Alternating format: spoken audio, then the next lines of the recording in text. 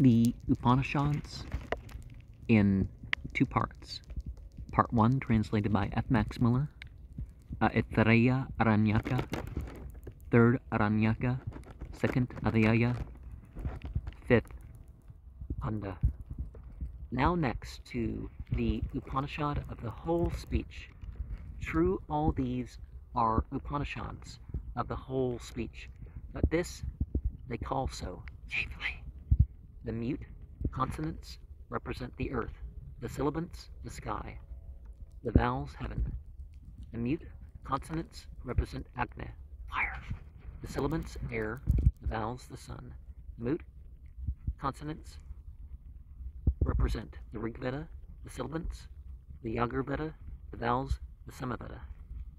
The mute consonants represent the eye, the sibilants, the ear, the vowels, the mind. The mute consonants represent the upbreathing, the sibilants, the downbreathing, the vowels, the backbreathing. Next comes this divine lute, the human body, made by the entities.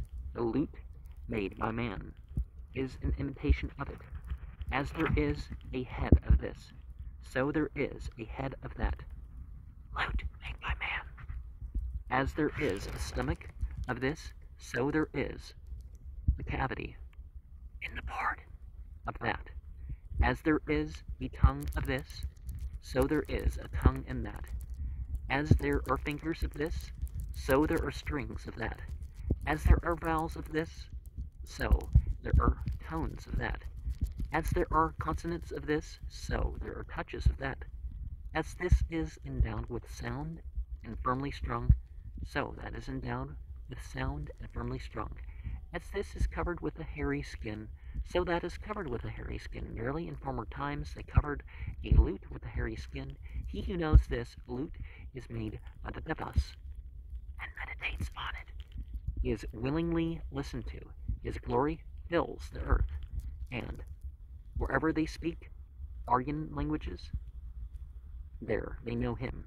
Next follows the verse called Vagrasa, the essence of speech. When a man reciting or speaking in an assembly does not please, let him say this verse.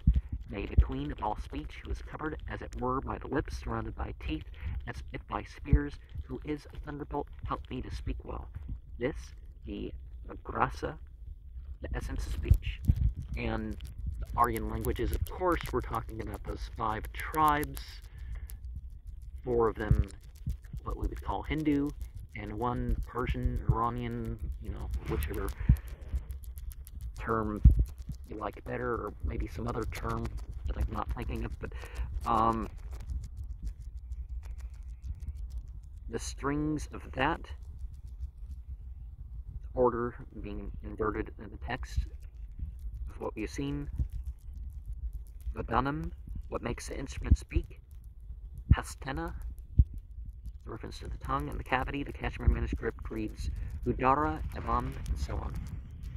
And the, after the inserting of the preceding chapter on Amina and the concluding paragraph on the highest knowledge, he returns to the meditation on the letters. And one of the things that we come across is this the city of nine gates bit.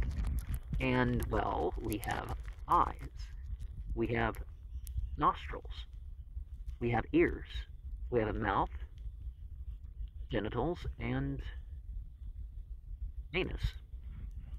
And while we zoom up, we see a lot more holes, like all over the place, right? But, um, so we're referred to, like, um, some sort of musical instrument like a flute or or something like this. But the lute's the string thing. So, you know, we have all these fleshy bits going in between everything.